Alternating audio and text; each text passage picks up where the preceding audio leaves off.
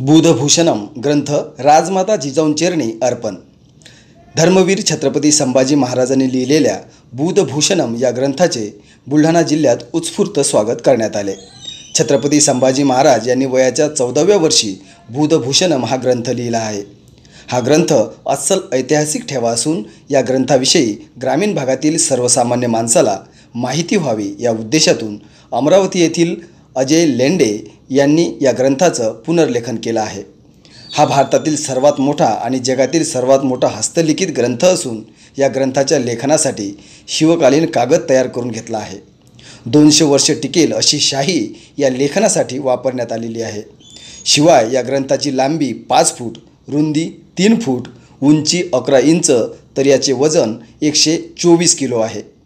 चौदा मे रोजी संभाजी महाराज यांच्या जयंतीनिमित्त या ग्रंथाचे पुनर्रचन करून या ग्रंथाचं प्रकाशन झालं आहे हा ग्रंथ सर्वसामान्य जनतेला पाहता यावा या दृष्टिकोनातून राजमाता जिजाऊंच्या जन्मस्थळ असलेल्या बुलढाणा जिल्ह्यातील सिंदखेड राजा येथील जिजाऊ सृष्टीवर ठेवण्यात आला आहे. तत्पूर्वी अमरावती ते बुलढाणा अशा या ग्रंथाची भव्य मिरवणूक मराठा सेवा संघ शिवजागर मंच व शिवप्रेमी संघटनांकडून काढण्यात आली होती.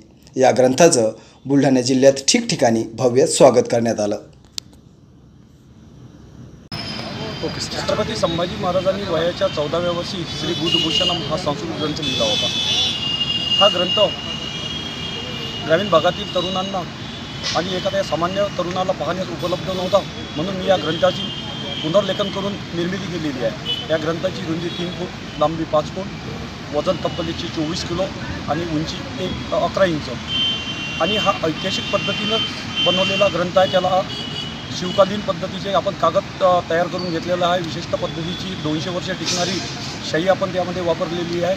आणि नवीन पिढ्यांना दोनशे वर्ष हा ग्रंथ पाहण्यास उपलब्ध राहील याप्रमाणे त्याचं सर्व त्या बांधणी करण्यात आलेली आहे. आणि या ग्रंथाचं प्रकाशन चौदा मे दोन हजार बावीस रोजी संभाजी महाराज जयंतीनिमित्त अमरावती येथे भव्य दिव्य प्रमाणात करण्यात आलेलं आहे.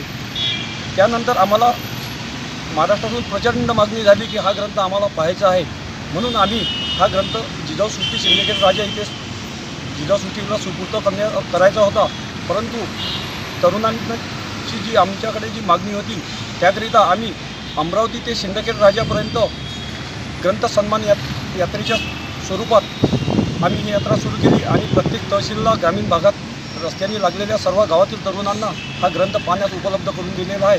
उद्या हा ग्रंथ शिंदखेड राजा येथे समारोपीय कार कार्यक्रम करून जिजावसृष्टीला सुपूर्त करणार करणार आहोत आणि यानंतर हा ग्रंथ नेहमीसाठी जिजावसृष्टीवर राहणार आहे आणि सर्व समूहप्रेमींना पाण्यास उपलब्ध करेल.